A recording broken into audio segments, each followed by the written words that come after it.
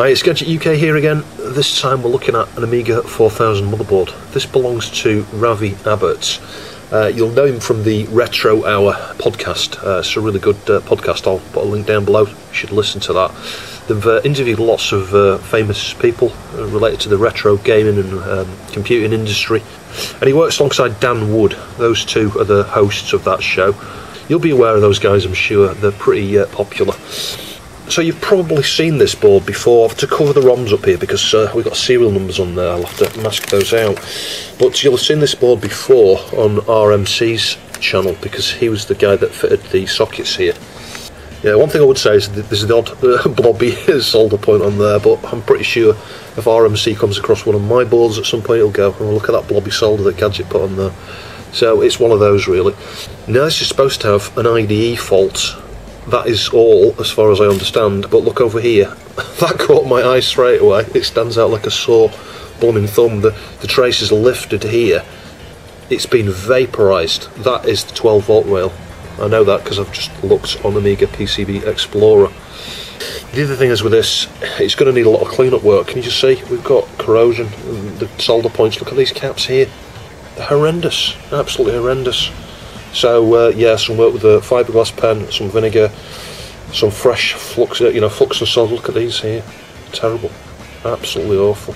I bent that pin away; it was short and almost on there. That could be from transit. And look at this. This is a ferrite bead. Where, where's the the outside bit? You've got the core, the centre conductor, but the actual ferrous material has uh, broken off that at some point. Looks like it's had a new port. One of those is different, so that's been changed things kind of look okay over here but then we start to get some dull solder points again. One or two around there look at those resistors those are going to need reflowing and cleaning up. And then we've got some greenness down here. I'm freezing at the moment and it's actually freezing. Look at that it's black. There's corrosion in there. I'd be amazed if that RTC works. Uh, and it's a similar story up here. Look at these. Oh my goodness you know, you've got to reflow these things really at the very least. You've got to clean up with a fiberglass pen and add some flux and desolder braid, remove the old solder, add some new solder. Again, that perhaps needs reflowing. Uh, and the ground points are just a bit dirty. You know, I wouldn't leave them like that. But in general, this board doesn't seem too bad. Uh, anyway, so yeah, my first uh, concern is what has happened the 12 volt rail on this. I'll also be very surprised if there isn't an additional fault with this because the 12 volts is needed by the audio circuit here. And I did some brief connectivity a minute ago and I couldn't find any connectivity on the 12 volt rail, which is no wonder because it's gone. So the power connector here, these two first connections here are plus 12 and minus 12 they seem okay. They're not short to each other. That's what I'm checking. We've got two grounds uh, here. I think these are grounds. So if we test the two grounds, yeah, dead short there. So the grounds are connected to each other. The five volts is this where the red one is here. Now it's given a beep, but let me show you. Showing 0.83. I know that's normal. Actually, I thought a minute ago that was a short, but it's not. That's normal on these. Um, so we'll do the same thing with the plus 12 to ground. I think that might be the minus 12 actually, and then the other one. Yeah, we've got some resistance there, mm, and some there, higher there, but it's not short. So, mm, let's just check these uh, diodes here. So I'm on the diode test.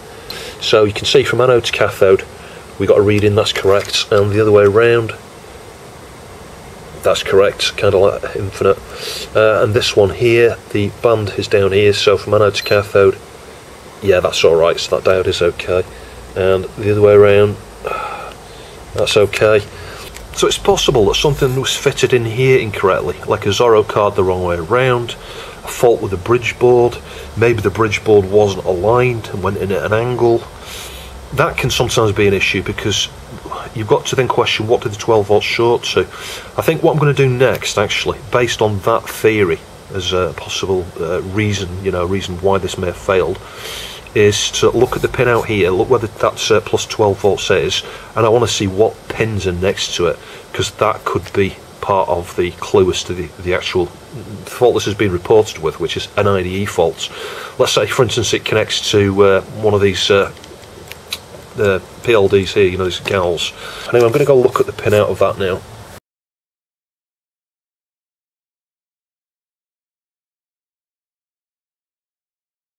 So please excuse the rather crude masking here. I just literally just ripped some red tape. I've had to put a few layers there just to cover the serial numbers on that. Because I don't want anyone, anyone uh, taking advantage of Ravi's serial number there and I don't know, trying to claim updates or something from the author. Um, you can see I'm just about to power this up. I've not got CPU card, and because you know what, I don't want to risk my CPU card in this board until I know the, the power rails are okay. So we measured there between 5 volts and ground, there was no short, low resistance about 0.80 as you saw my meter. My other 4000 and Stevens 4000 were exactly the same. You do see a low resistance between 5 volts and ground. So I measured here between 5 volts and ground, 5 volts and 12 volts, uh, 5 volts and minus 12 volts. There are no shorts there, and plus 12 and minus 12 to ground, no shorts on any of those. So I feel comfortable powering this up. So I'll connect my multimeter up. Uh, I think we'll just uh, we'll leave it plugged into these things here. Let's just connect it to the 5 volts connector there. If I can just shove my probes in a little bit, should hold in place. And then if we switch it on, I'll try and point that at you. There. Yeah, so the 5 volt rail is okay. Switch it off. I've also just clipped an LED on here, and I used this when I was testing Stevens boards and things. It just allows me a visual indication there, a reminder that it is actually on. So I'm going to leave that meter connected up that way, and uh, the next thing I'm going to do is switch it on, no CPU card, and I want to just feel the tops of the ICs here at this stage, just to make sure nothing is uh, going nuclear. I mean, I would see a voltage drop if there was, probably. Or we might be able to smell something, but... I mean, the thing is, that rail, when that rail went, someone must have been able to smell that. You would have smelt burning electronics when that 12 volt rail burned up the way it, uh, it, it, did in the past. You never know though, that could have been done a long time ago in the past, but the thing is, because it's on 12 volt rail, I'm guessing the audio is not going to be working on this because you're missing the 12 volts, unless it happens to have disintegrated the trace leading to the Zorro, but maybe by coincidence or miracle rather, maybe it's ended up on the uh, audio section. I think we'll measure the audio section next. I'm going to put the ground through one of the ground straps there. Right, let me just measure one of the uh, 5 volt rails here, just to make sure we've got 5 volts again. Hang on. Yeah, so we've got 5 volts, and uh, you can see the probe up here. I'm just going to measure the supply pins on the op amp. Yeah, they've got minus 12. Let's just see if we've got plus 12. Minus 8? How have I got minus 8 on the positive rail there. That's a bit strange. So we seem to have two minus supply rails. That's a little bit weird. Minus 12 going to where plus 12 goes is not a good thing for sure.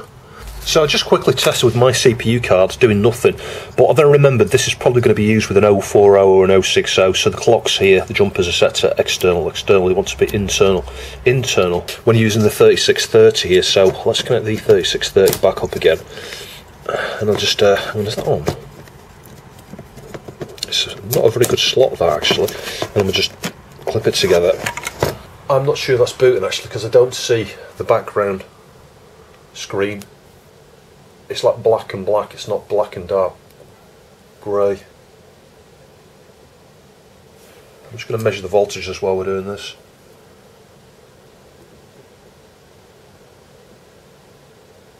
Yeah, the 5 volt rails are alright. But that would appear to not be booting to me. This isn't an IDE fault at all. This is a major problem that's happened to this board. It's had a major trauma.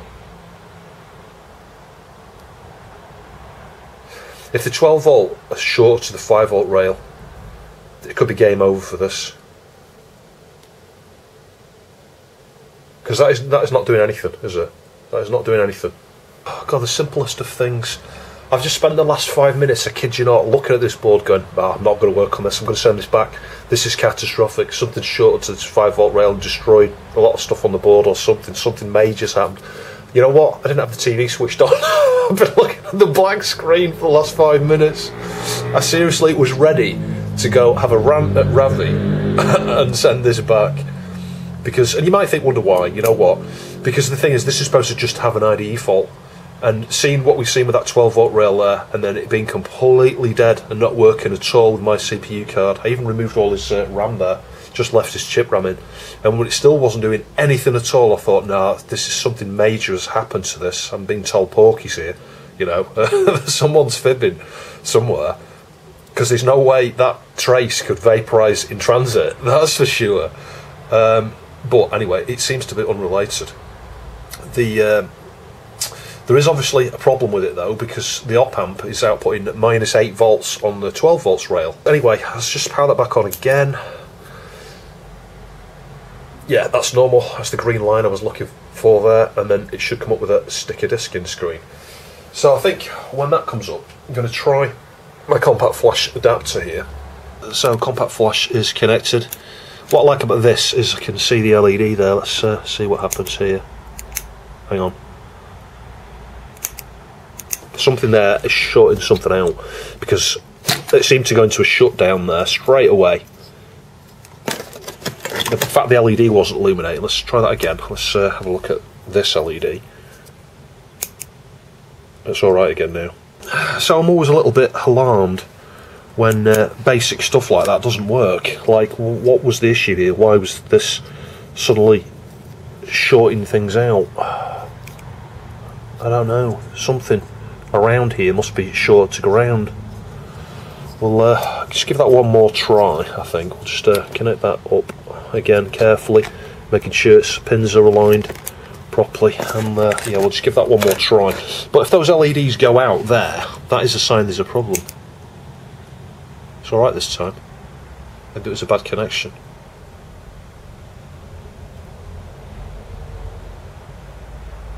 But it's clearly not booting, is it, off the uh, IDE.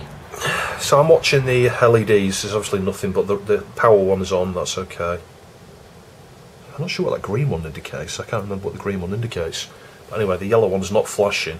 The red one is on. But it's not even coming up with a sticky disc in screen, look. Now that could just indicate the IDE buffers actually, so it might be as simple as it seems. Let's just remove the compact flash card.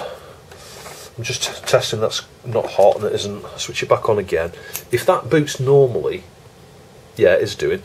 That would kind of suggest it's probably about the IDE buffers. It may be that simple. Now, the next course of action with this, I know we've not done anything with the 12 volt rail, but my next course of action is to get DiagROM in there, and there's a reason. The, the reason it was freezing then, it wasn't booting up, tells me it was probably crashing. And I think the reason it wasn't booting is one of the pins on those buff buffers there, the 245s, probably means it's reading some spurious data.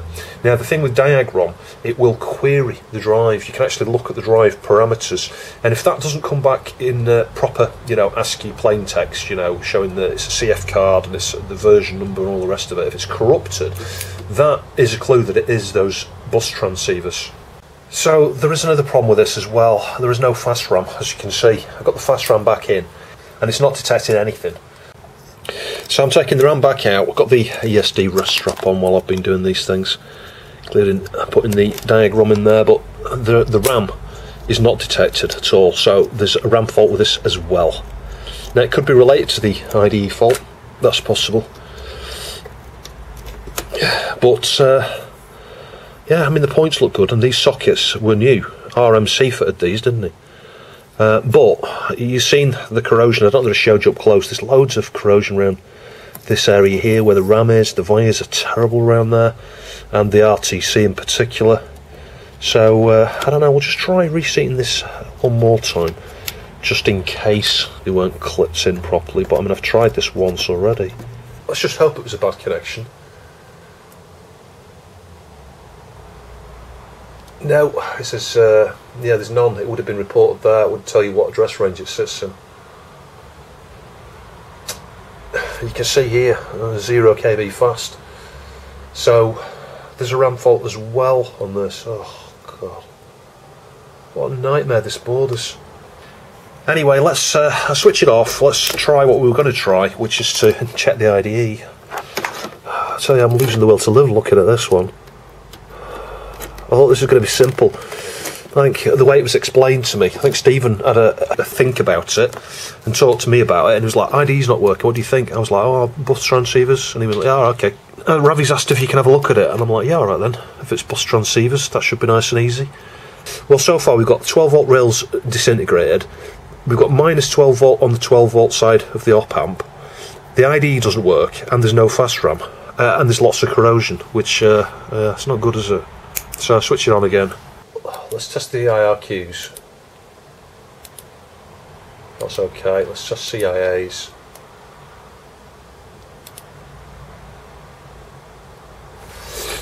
It's always a good idea to reel some of these things out.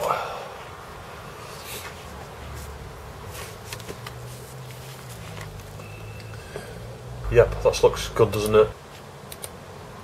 Yeah, there we go. Gary IDE test A4000. Not found. Not found. It's just not seeing it at all, is it?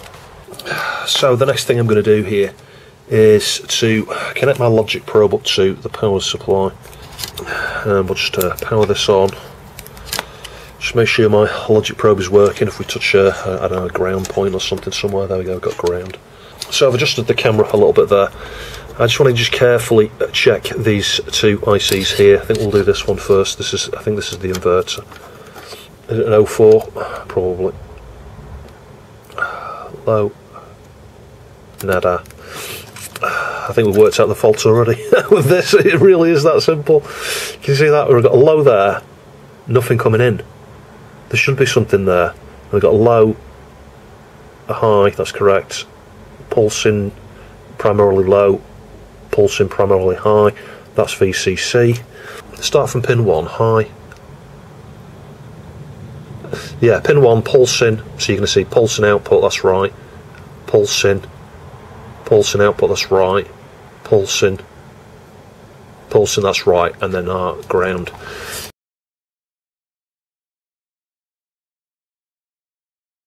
So as there are so many issues on this, I'm going back to looking at the 12 volt issue actually. Um, now the first thing I'm going to do is just remove this. Can you see this? You could try and glue it down, but look, it's just floating off there. It's disintegrated. It's disintegrated in a few places, so I'm just going to pull it. There you go. It's come off already. Pull it off there and it's the same here look the whole thing is just lifted right to the point here so again I'm just going to just uh, carefully pull it there. Like that. And uh, we'll just bridge that with a wire. Now for the moment I'm going to use a very very very fine wire. Uh, in order it acts as a fuse. If you were to put a really thick wire across here and there is a short somewhere, it's uh, it's going to add to problems. Um, but the other thing we will do is obviously test at various points to make sure there's no short to ground. So from this side over here, if we measure on here, let's just test to the connector there, yeah, so we've got a joint, and we'll test to ground just to make sure that is not shorting to ground. And it isn't. There's a resistance there. Let's just put it on resistance mode actually, just so I can see how big a resistance. Yeah, it's in the region of mega ohms. Getting like two mega ohms and dropping very slowly. So we'll do the same thing over here. Mega ohms again, 8.2 mega ohms on the meter. So whatever the short was isn't there at the moment. It could be the hard disk that was connected or something. Well, mind you, the hard disk wouldn't have drawn current through here. Something that was connected to this was drawing too much on the 12 volt rail, perhaps showing to ground, but it's not there now. So I think what I'm going to do is I'm going to, as I say, bridge over here with a tiny piece of coil wire for the moment because if there's too much current, that will burn up really quick. Um, and then just see what's going on with the 12 volt side. I'll do some more connectivity first though, just to make sure that the, this rail is going from where it should do at each end, uh, and then I'll retest that way.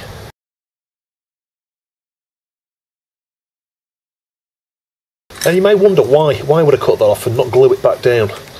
And the answer is that's a 12 volt rail. Do you really want to rely on a little bit of glue holding this all the way along here? What happens if it comes loose and shifts and your 12 volts goes somewhere else on the board? It's just not a good idea. So uh, I'm going to solder from the Zorro connector here. We'll, we'll turn over that in a minute. I might even just cut that little bit off. And down here I'm just going to solder onto that little bit that's exposed. I can uh, scratch the wire off later and I've got the coil wire here you can see it's so small I can hardly even see it this is what I want because there's hardly anything on this draws very much on the 12 volt rail So, uh, just for the moment, this will do the job. But ultimately, you want something a little bit beefier than this because that is a thick rail. If you've got Zorro cards that are drawing on that 12 volt rail, that's a factor. And if I could just about see what I'm doing here, I can barely see that wire. I'm going to just uh, solder it onto the point there, if I can, I can't see it. That's it. And uh, join it up onto that. The other thing uh, I think I will do as well is just put a little piece of Kapton tape over this here to hold this. Because if this doesn't burn up and a bit flies off, the 12 volt could go somewhere else, couldn't it? This is the issue. You need to think about these things. You have to assume the worst. You know, if you expect the worst, you'll be pleasantly surprised if it doesn't go wrong, if nothing happens. Thicker wire is not too bad of a problem, to be honest, because it will go at the weakest points. It'll go on these little bits of the trace that are left if there is, uh, if there was still some sort of short scenario. But you want to do everything you can to mitigate against further problems, including using a current limited power supply where you can. And since I'm using an ATX power supply as well, you can understand why I'm going with this really thin wire here. I don't, don't want to add to problems. Let's just try and pull that across there like that. That's it. That's in place. So I put insulation tape under the wire and on top of it, so it was totally isolated. Should it short and melt, it's not going to flip onto anything nearby. Does that make sense? I can show you that in a minute because uh, I'm just a little bit paranoid about this before we test it. Now, if I switch this on now, just move everything out of the way and uh, just carefully watch the meter. Let me move you down a little bit. Yeah, so hopefully you can see the meter from there. And uh, putting the pin on the uh, 12 volt rail of the op amp, just watch. You can see we do have 12 volts and it's holding. No problems at all. Now, I've not got a CPU card at the moment, so the next thing to do is fit a CPU card. But that seems to have solved it. So whatever happened on the 12 volt rail seems to be related to the slot, I think. It's a card or something that was plugged into here that shorted out at some point in the past. Now, of course, that could have happened a long time ago in the past. What I think I would like to do is watch the RMC video to see if there were any clues about that rail being shorted on his video. You know, was that damage already there? I don't think it was. I think Neil would have noticed it, to be honest. So we'll connect the CPU card back up. I've got the probe shoved into the 5 volts connections here. Let's just make sure the 5 volts is okay. It is. Pointer back at the screen, power it on again. So DiagROM is starting there. I think what I might do here is connect the mouse up and just test the audio. So still got no fast RAM, which is to be expected. That 12 volts is going to be totally unrelated to the fast RAM.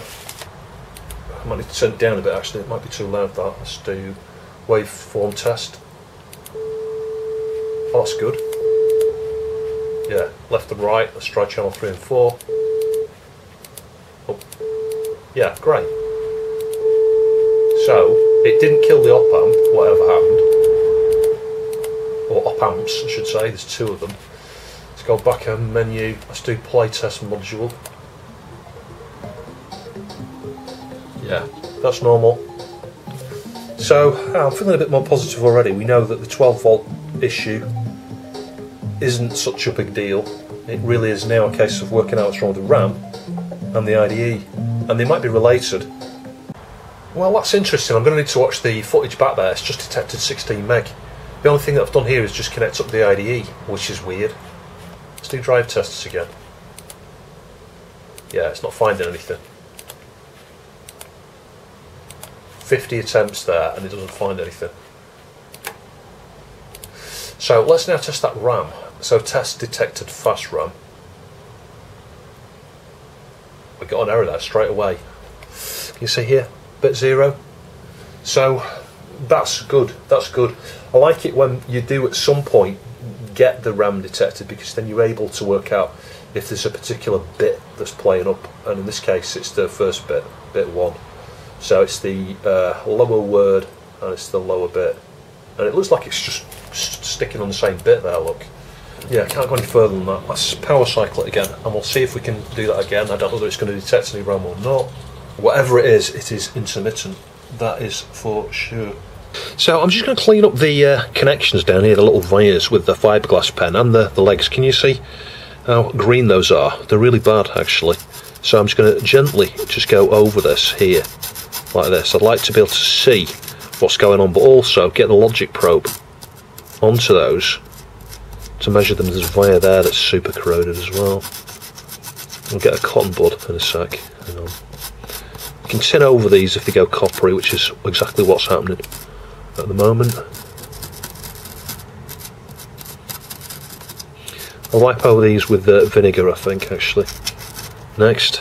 Because, as I say, I think that that is related to the first eight bits of the data bus. I could be wrong.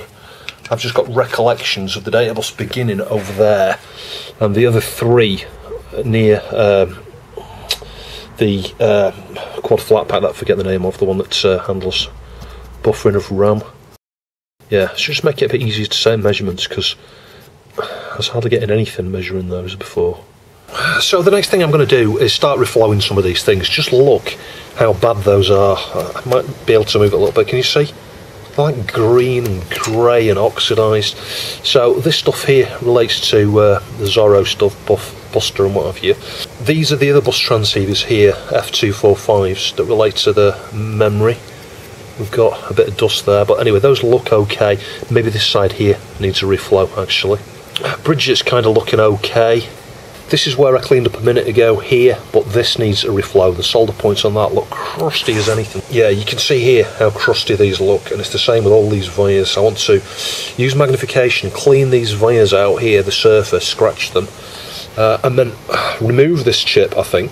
Yeah, I'm going to do that. I'll get cap Kapton tape along here, a couple of layers, remove this chip, clean up the pads, clean up and inspect and test these wires around here. There's one down there that always causes a problem. Go to the first pin on the end there, the ground pin. Uh, even these caps, oh god, that looks like that needs redoing. It's awful. Solder points are terrible. I mean, just look at these here. Can you see that? It's like greeny grey, and same with these here.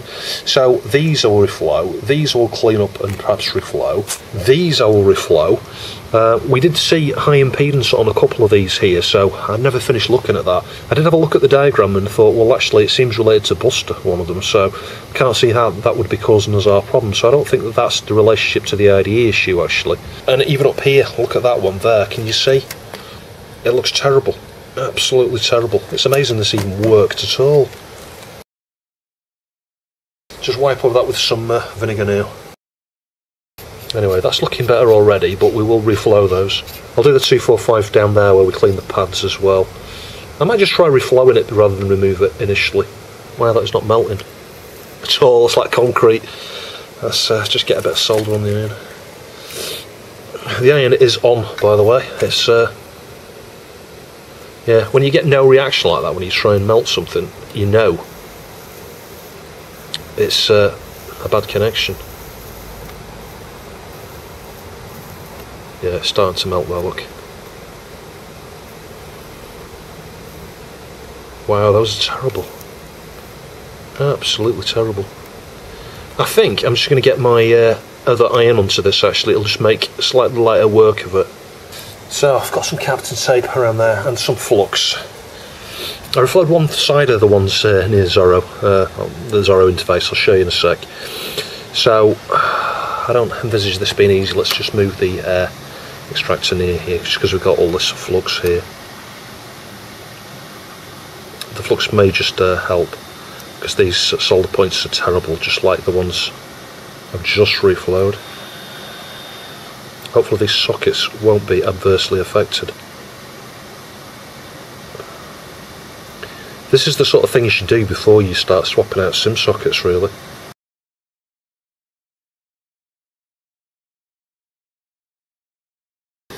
Should remove that button cell really as well. There we go, it's coming off, look. Ugh, come out of the way.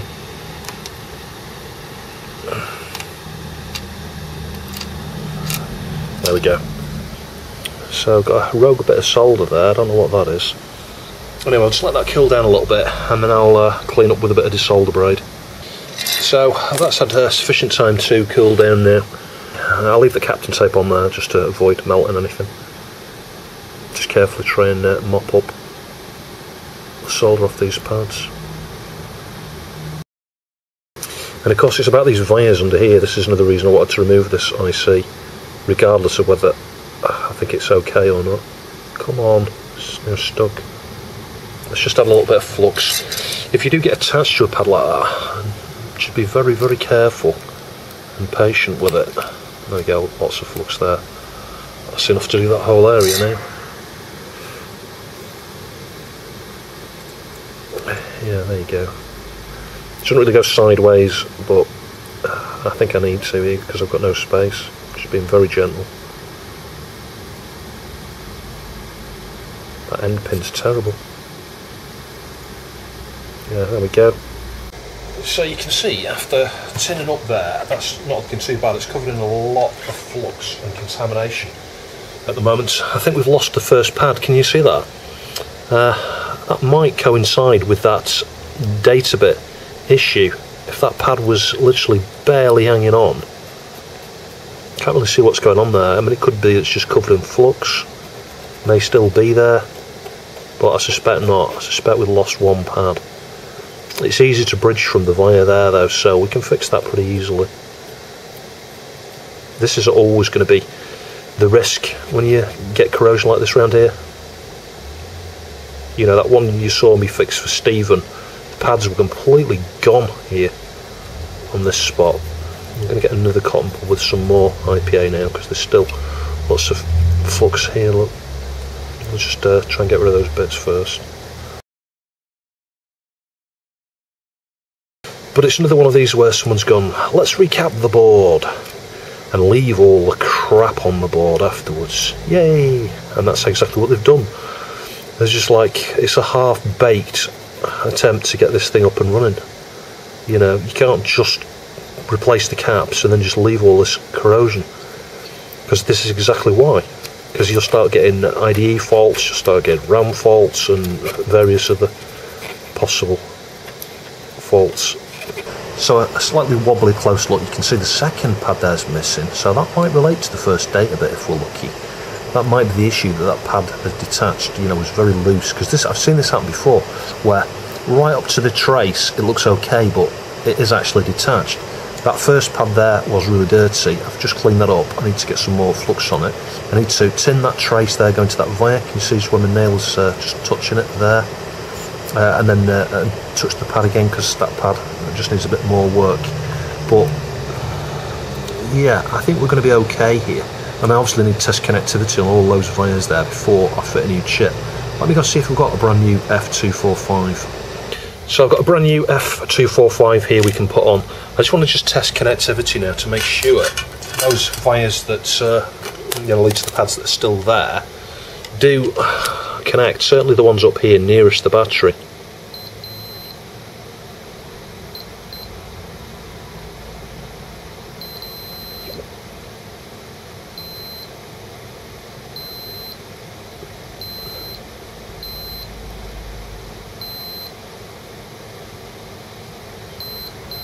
Yeah, that's a good sign. So it's just this one here we've got missing pad for. Let's just test the one that goes to a via underneath. Yeah, that one's okay.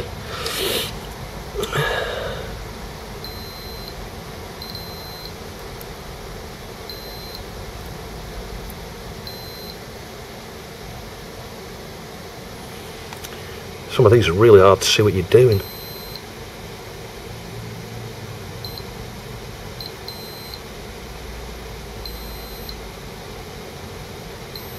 And you really need to test these wires through to the other side of the board. So it wants to go that way actually.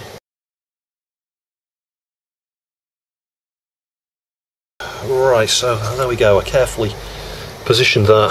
I had to straighten one of the pins because when it came out of the tube, the end pin was just a little bit bent. So I just get a little bit of uh, flux on there.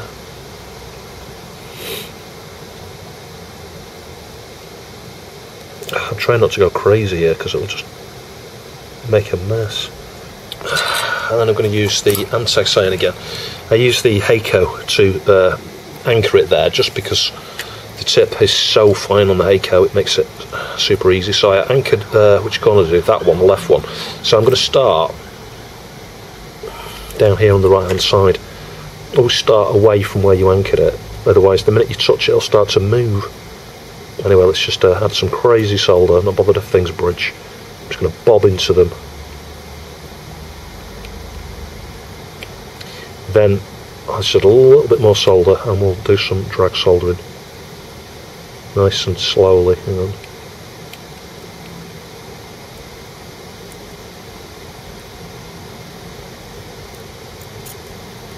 There we go. Got a bridge there, look. Just remove the solder from the iron and uh, have another bob into it. There we go, you can see. Got rid of the bridge. On a minute, touching the cleaning thing here. Right, so I'm just now going to just bob in and out of these just to get nice level solder.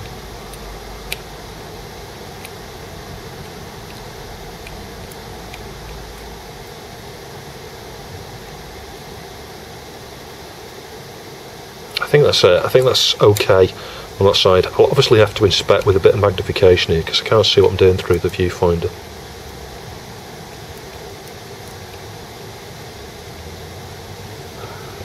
I'll do the same thing on the other side. So I've still got to finish cleaning up around there, but yeah, nailed it first time. So that was the issue with the fast RAM, I'm pretty sure. It's showing 16 meg there. I mean, we can test that anyway. If I just connect the mouse up, let's just go through the full range, because before it was failing, wasn't it, on uh, bit 1. Let's do that. Yeah, it's working now. So obviously I need to test this longer yet, let it go through the whole address range, but that was the problem with the fast RAM. This is one reason why you can't just, you know, swap out caps and SIMM sockets and stuff and just leave the board like it is, because these things will just come back and get you. You know, it might work at the time when you test it. If you don't remove that corrosion, it will just come back and get you.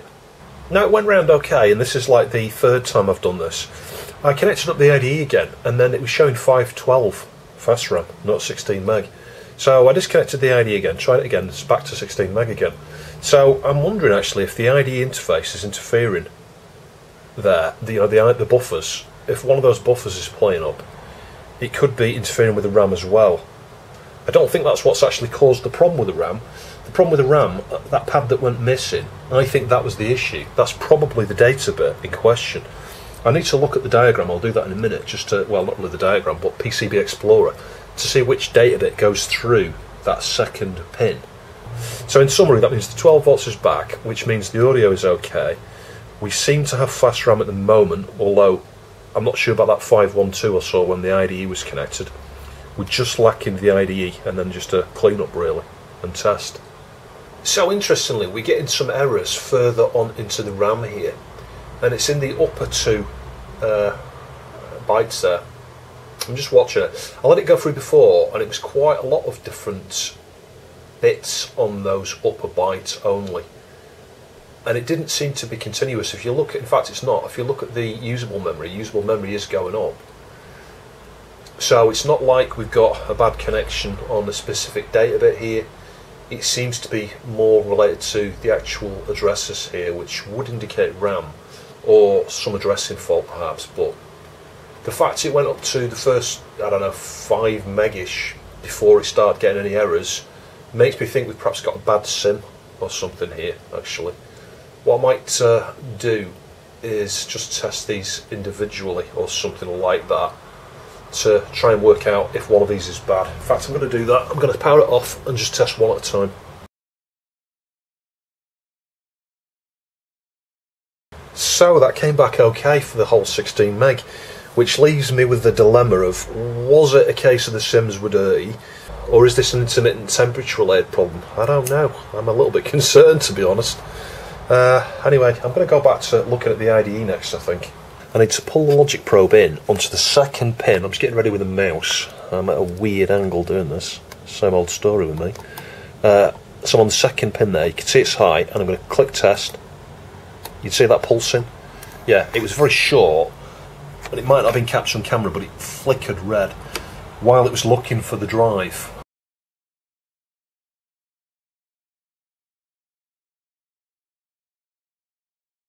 I've put the original ROMs back in and there's a reason because it will poll for ages looking for the drive and if I bring the probe in just watch right so this is the output enable interestingly it's it's not probing for it now. It's just watching again. There you go, pulsing on that second pin there from the end. Right, so it's looking for the drive. Now it could be that it's writing out to these uh, that point, but I suspect probably not. It's probably reading. And if we look at the data bits here, you'll see low, low, low. This is on the compact flash side, I think. Low, high. We've got a high there. The other bits are low. So it looks like that chip is faulty to me. And if we look at the, and hopefully you can see the chip here as well. Low, low, low, low, low, low, low. All eight bits low. Yeah? And then we get to the uh, output enable there, you can see it's pulsing, it's looking for the drive. So, based on the fact that uh, that bit there stuck high, makes me think this is that chip. It could be that simple. So I could be barking up the wrong tree completely here. But uh, anyway, let's just move the extractor in here. I'm uh, nowhere near anything that could melt just now. I just want to get rid of the fumes off that. So uh, we'll just yeah gently heat this. It's lifted off the mat here with uh, some isolation underneath so I don't melt my mat. Let's just get that up to temperature.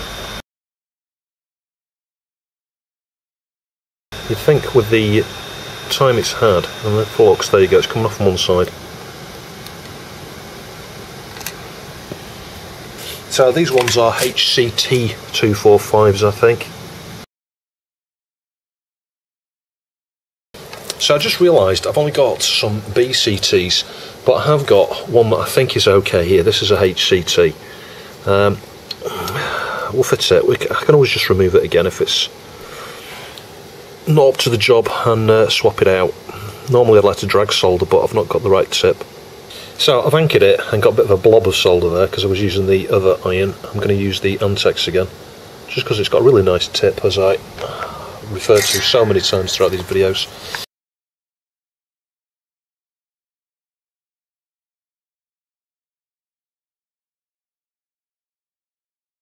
Right, that's good enough to test. I'm going to reflow that afterwards because it just looks awful.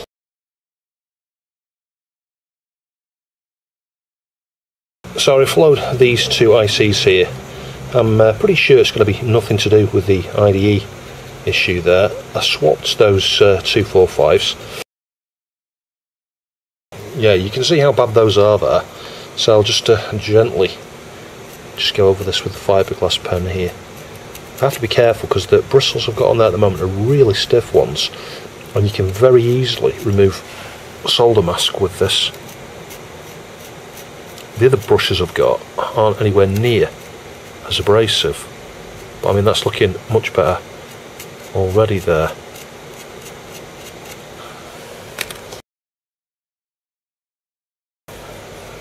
I think while I'm doing this area I'm going to focus on those there, you can see how bad those look as well it's just oxidisation of vinegar that was never cleaned off. Primarily the vinegar, you know, that's made it go a little bit green.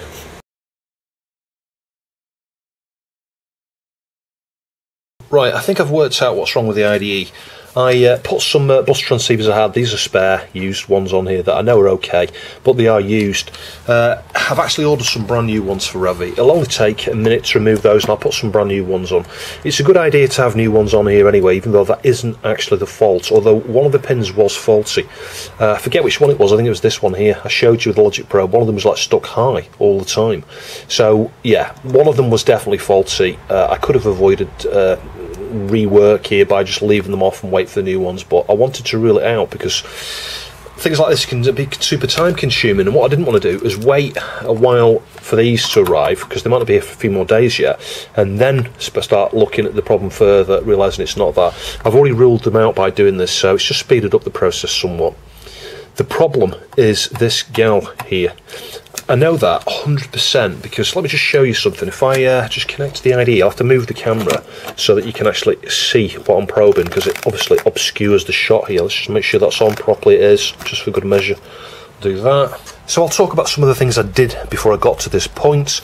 But if you look at this uh, this pin here, the first pin on this corner, can you see it's low? Right, let me just cycle the power while I hold it there.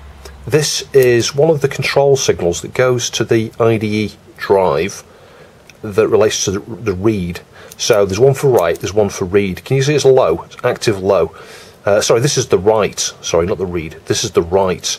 So that's indicating, because it's low, it's indicating we want to write to the, the drive. Not necessarily write to the disk itself, but actually write to the interface.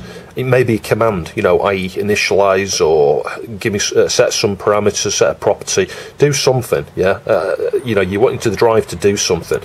Uh, the read is the one next to it, and because that's high, and that will go low when it wants to read the drive, and it pulsed there. So that's where it's attempted to boot. Watch it again.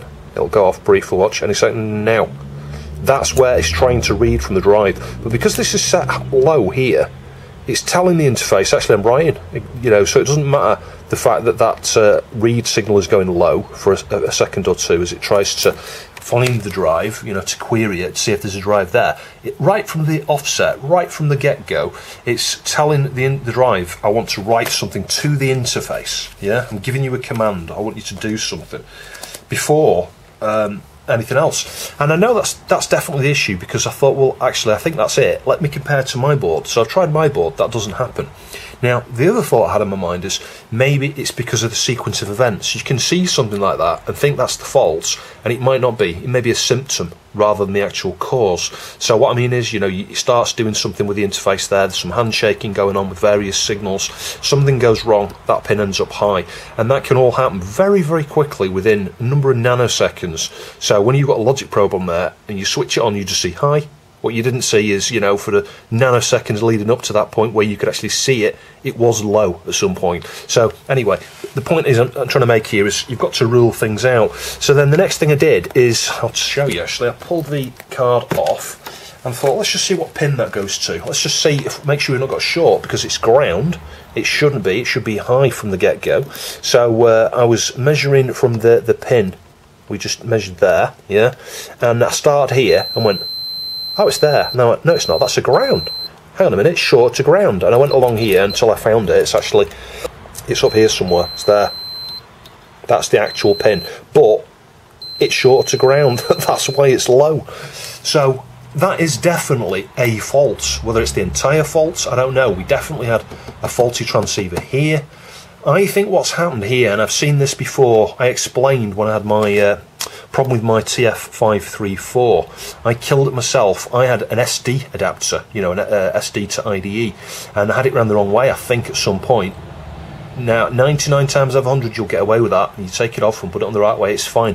But what you've got to realise, and I'll show you this again, if I measure from, uh, I've got one probe on ground on the board here on one of the ground tabs. Just watch this, that's ground. And then as you go along here, that's ground. That's ground, that's ground, that's ground, that's ground.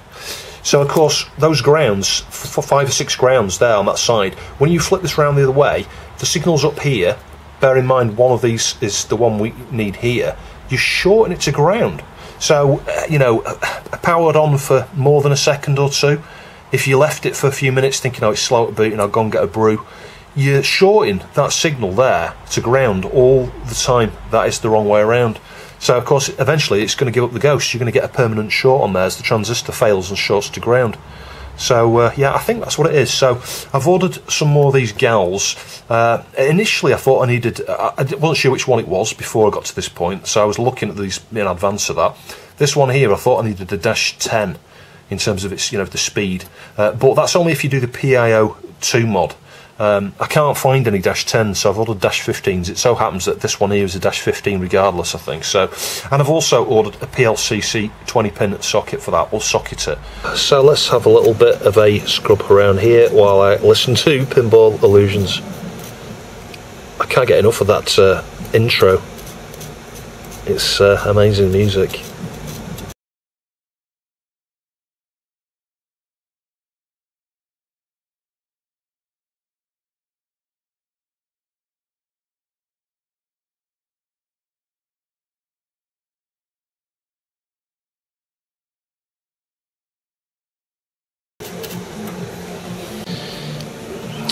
So it is a far cry from uh, the ones I looked at previously.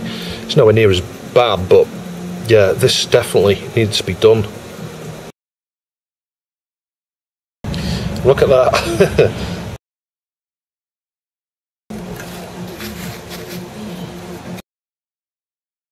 going to clean over that as well. That looks uh, a little bit greeny there.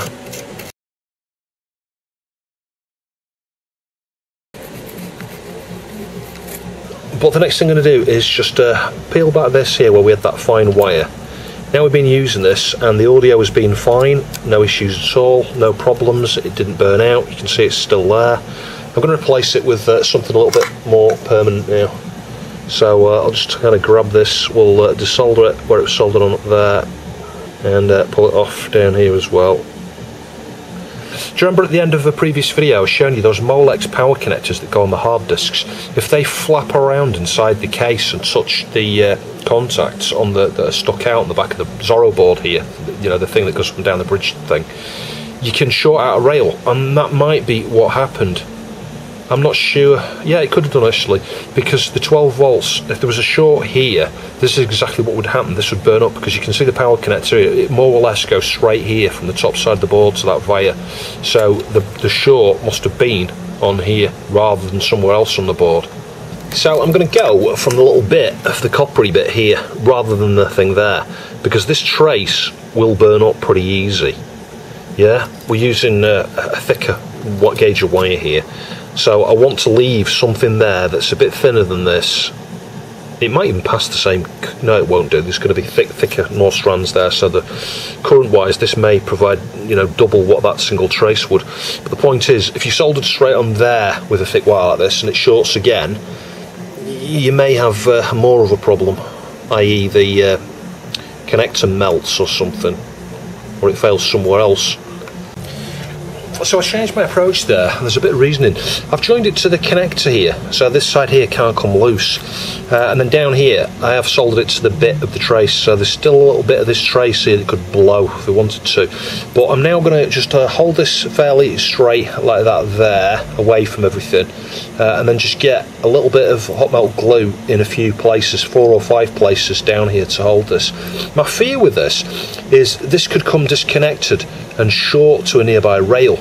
Now the thing here, the, the, where I had it soldered here is right next to this rail here, which might be the ground or the minus 12, I'm not sure. So that's why I've shifted it up here. I thought if it comes detached, it's going to short really easily to these things at the side. Um, here, it's not going to come off, even if there's a ridiculous amount of current, that wire won't be the thing that burns up, it'll be the trace somewhere else, i.e. down here. So there we go, I might clean that up a bit further later, maybe even heat it a bit more to make it a bit flatter but it should be okay. You know, there's quite a decent standoff from the board to the underside, so that should be fine. The main thing is it's held away from the other trace. It's uh, got the fine bit of trace still there, so it could blow there. Just got to hope that none of his Zorro cards caused this to uh, short circuit. So we'll pull that GAL off in a minute and see if the short disappears. I am waiting for some chips. The few things we're going to need to do here though, can you see? We've got green pins there. Some dark looking vias here and the traces look a little bit weird around there. So I'm going to remove the solder here clean up these things. It's only a minor thing but there's like the odd large blob can you see that on the SIMM slots?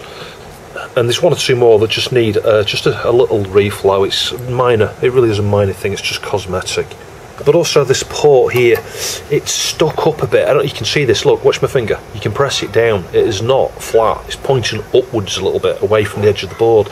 So uh, I'm just going to heat those and then just try and straighten it a little bit. The solder points on there are okay. One or two perhaps need a bit more solder. But on this point here and I'm not sure if you're going to be able to see one of the pins I think it's that one there kind of looks like it's starting with a dry joint. So I'll reflow those as well while I'm at it and obviously give it a clean. Can you see this? Can you see the smeary marks and things? They're all over the blooming thing here. You know, it's uh, remnants of flux and stuff, but fingerprints and stuff as well. And there's just like uh, smeary bits of dirt and all that sort of stuff on it. Now there is certainly nothing wrong with the soldering here. It's really a case of if this was my board, it'll be doing that. Can you see that? That's all it needed.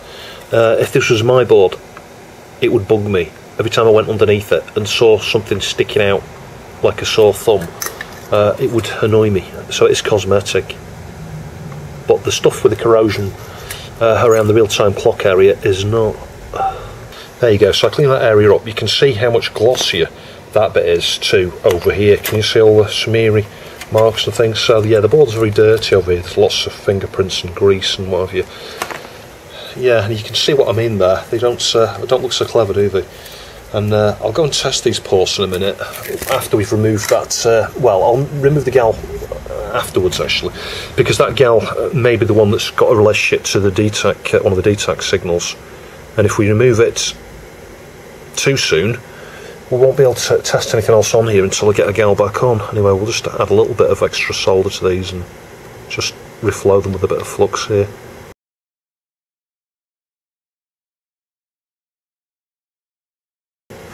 Yeah, that's a bit better. But look at the shape of this here. What's happened to that? Quite why it's gone that shape, I don't know. Oh, it's because they lost some of the pad, I think. That's what's happened there. I should reflow it anyway because it just looks a blooming mess. Yeah, look, the pad's just blooming floating there. Makes me wonder if that uh, works actually.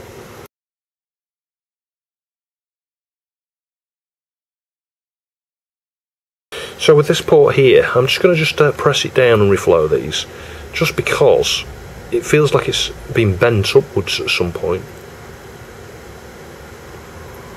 And of course, we may need to just reflow these as we do that.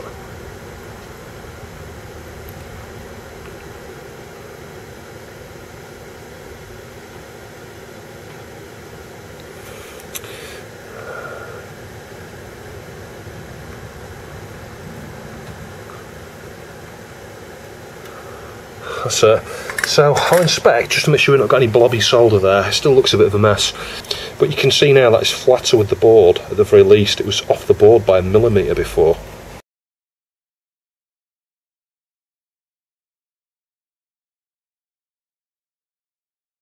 Yeah, that's not too bad. Bear in mind, these have been pretty well mangled in the past. I'm cleaning the wider area with a cotton bud here. I'll use a number of cotton buds and then go over it with the, the toothbrush and the uh, main brush there.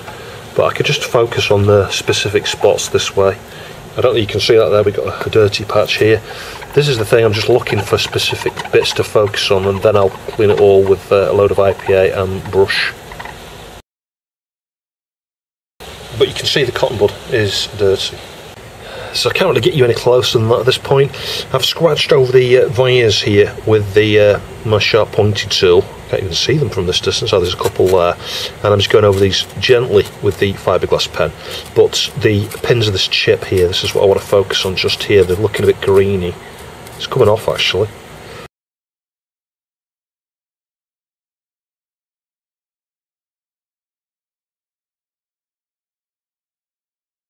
So I tested the RAM, I tested the joystick and the mouse ports, those are fine. But the real-time clock is not doing anything as you can see, even if you set it and save, it isn't progressing. So it could be the clock chip itself, it could be the crystal, it could also be that little variable trim cap that's full of corrosion. So uh, I might just scope the crystal, I think. The other thing I'm going to do is just get a little bit of deoxit into that variable cap and just uh, tweak it one way and the other in case it's there. So I've got the deoxit in there, I'm just going to just twist it one way and the other you can see I'm not rotating it too far. I'm going wide, wider field here. Hang on, stuck now. There you go. It is jammed. There's corrosion in there. So just twisting it a lot like that and try and leave it approximately where it was originally. It doesn't matter too much. And it's annoying I wasn't filming this at the point where I did that because it was on zero. And as I tweaked it, I looked up and realised as soon as I touched that, it had started counting up. So that's what it was. It was affecting the crystal there. And what I mean by that is this cap here goes on one side of the crystal to ground. It's a, a variable adjustment there, just a, you know, for fine adjust if you like, to tweak the clock. But it makes so little difference, it's ridiculous. You could, in theory, dial it in using that so that it's absolutely precise. It might be gaining like a few seconds a day at the moment, or losing a few seconds a day. I don't think anybody's bothered about that, seriously. We'll check back on this uh, tomorrow to see if it's held the in time overnight. I haven't even measured the battery. The battery may need swapping. If it's uh, if it's low, I'll swap it out for Ravi as well. I'm sure he's not going to mind paying a pound or something for a battery. So I had to bring the video to a bit of a, an abrupt end here. There will be a second part. The second part shouldn't be quite as long as the first part. Still got to get the IDE working, and there were a number of other sort of small things that needed to be done to this board. Uh, and the GAL came, and as you see, it didn't work to start with. So yeah, a few issues to resolve yet on this board. I do hope you found the video interesting. If you'd like to support the channel, please see the Ko-fi and Patreon links down below. I'll catch you in the next video.